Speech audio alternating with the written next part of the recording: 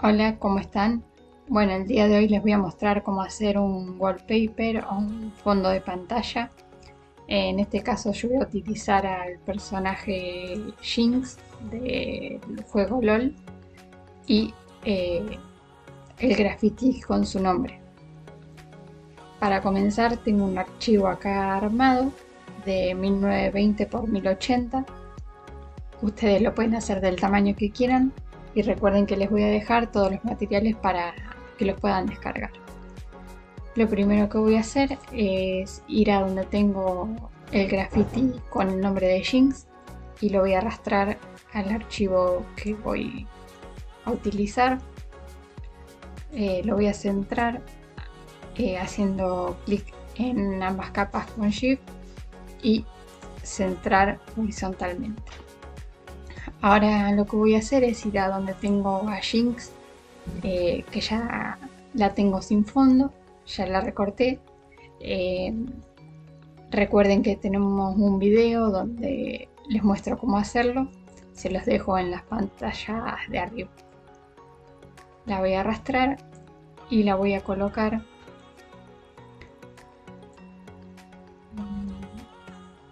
más o menos por ahí y con control T o edición transformación libre la voy a agrandar y poner donde me parezca más conveniente ya que la vamos a cortar de acuerdo a la tipografía que tenemos atrás. Bien ya la voy a dejar más o menos por ahí. No sé si llegan a ver pero acá hay una línea negra así que la voy a borrar para que no nos moleste y lo que voy a hacer ahora es cambiarle el color al texto. Para eso vuelvo a la capa donde dice Jinx, voy a cambiar el nombre, voy a poner texto y a la capa 2 voy a poner Jinx. Voy a texto y eh, voy a ir a estilo de capa, superposición de colores y voy a buscar el color que más me parezca conveniente. Este personaje se destaca por el color fucsia y el color turquesa más que nada. Lo voy a dejar por ahí. Le damos a OK. Ahora lo que voy a hacer es cortar al personaje con la forma del texto. Para eso me voy a parar sobre la capa de Jinx y con control presionado voy a hacer clic sobre el cuadradito de texto. Fíjense cómo nos hace una selección de lo que sería el graffiti. Ahora lo que vamos a hacer es crear una máscara de capa y recuerden que la máscara funciona mostrando lo que está en blanco y ocultando lo que está en negro. Así que vamos a ir a la herramienta pincel y lo que vamos a hacer es pintar de blanco la parte que queremos que se vea, como en este caso por ejemplo eh, la cara, el arma que estaría por acá y las trenzas. Simplemente con el pincel en blanco vamos pasándolo, teniendo cuidado de no pasarnos eh, donde está el corte de la X.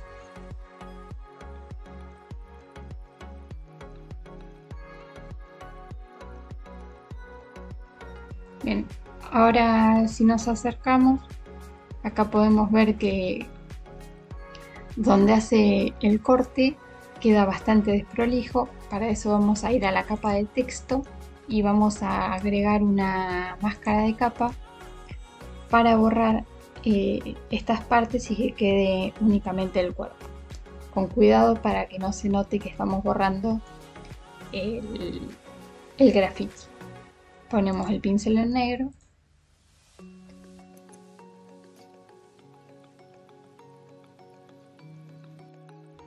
Acá tenemos una partecita que nos quedó mal, la vamos a corregir ahora.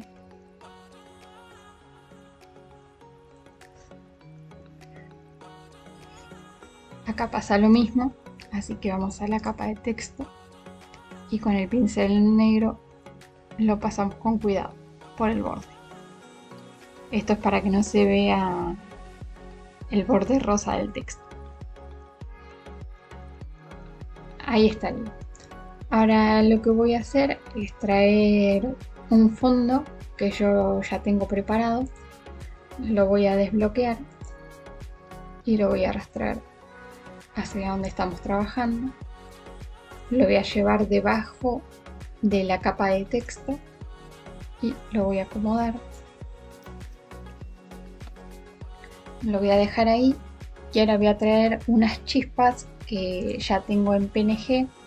También las vamos a arrastrar y las colocamos arriba de la capa de fondo que acabamos de poner y las acomodamos a nuestro gusto.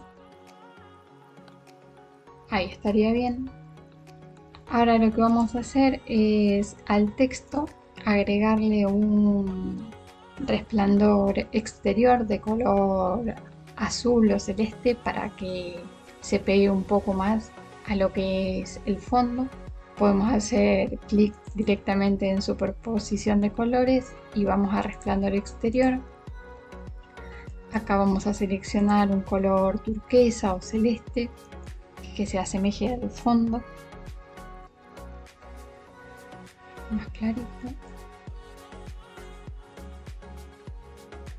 Bueno, estos ajustes son a gusto de cada uno. Yo le puse 29 de opacidad. Eh, en extender le puse 13, tamaño 79. Le doy a OK. Esto igualmente si lo quieren cambiar haciendo doble clic eh, lo pueden hacer en cualquier momento. Ahora me voy a parar sobre la capa donde tengo al personaje y voy a ir a, añadir una nueva capa de relleno o ajuste y voy a ir a curvas. Voy a presionar este iconito para que únicamente me afecte a la capa de abajo, es decir, a donde tengo el personaje. Y voy a subir un poquito más o menos ahí. Esto también es a gusto de cada uno, pero para que resalte más la figura. Y ahora lo que vamos a hacer es agregar un degradé circular para que en los bordes esté un poquito más oscuro y en el centro más claro y llame más la atención. Para eso vamos a ir a crear nueva capa de relleno y ajuste. Degradado voy a elegir blanco y negro donde dice estilo, en vez de lineal voy a poner radial. Y acá donde dice invertir, voy a hacer clic porque yo quiero que lo negro esté en la parte de afuera y adentro sea la parte blanca. En escala voy a aumentar para que no sea tanto la parte oscura. Ahí en 232 lo voy a dejar y le voy a dar a OK y acá en modo de fusión para la capa le voy a poner superponer. Como es bastante la diferencia que hace, voy a ir a opacidad que está acá al lado y la voy a bajar. Ahí yo lo voy a dejar en 25. Y por último me voy a asegurar de que de haber cortado todas las partes donde hay figura y también texto como acá que me lo pasé voy a ir a la capa de texto a la máscara y con el pincel negro voy a pasar para que quede más prolijo bueno eso sería todo ustedes pueden jugar con los valores de cada capa pueden agregar más efectos o distintos fondos para probar lo que más les guste y hacer el póster o wallpaper del personaje que ustedes quieran. Espero que les sea de ayuda y desde ya muchas gracias por el apoyo. Y les quería pedir que se suscriban al canal ya que me serían de mucha ayuda.